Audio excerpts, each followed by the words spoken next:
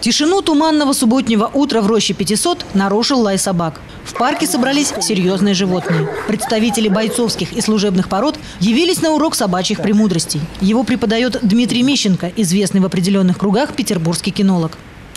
Мама купила мне первую собаку в 80-м году, где-то в 79-м. Пришел на площадку. Какая собака? Восточноевропейская овчарка. И как бы попросили помочь, потому что проблема с фигурантами, это сейчас новое слово такое, или помощник э, судьи, инструктора по защите, потому что это дано все-таки не каждому человеку махать тряпкой, рукавом. Я уже этим занимаюсь ну, больше 35 лет. Этой профессии не учат в университетах. Все постигается на собственном опыте, да на опыте коллег. Мода держать серьезную боевую собаку существует с незапамятных времен.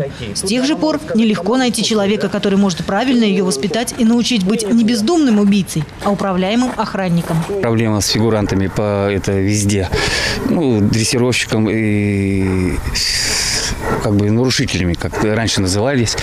Э, проблема ну, научить собаку адекватно кусаться правильно и красиво. Э, и попросили приехать, помочь. И вот с этого момента уже года два я сюда приезжаю. Нет специалиста и в Кингисеппе, поэтому местные энтузиасты сообща приглашают Дмитрия на такие выездные семинары на природе. Ирина не в первый раз приводит дрессировать свою немецкую овчарку. Сейчас Тесс уже примерная ученица, а было время, в ней не было даже намека на маломальское воспитание. Она попала ко мне случайно уже, будучи, можно сказать, взрослой, 9 месяцев. Собака была вообще неадекватная, невоспитанная. Что такое ходить рядом, послушание вообще просто-напрочь отсутствовало у нее.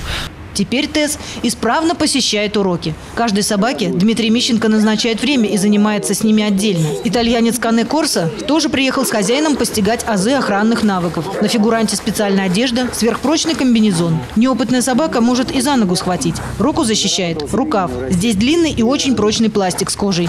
Сверху на него надевается съемный чехол, чтобы собака не испортила себе зубы.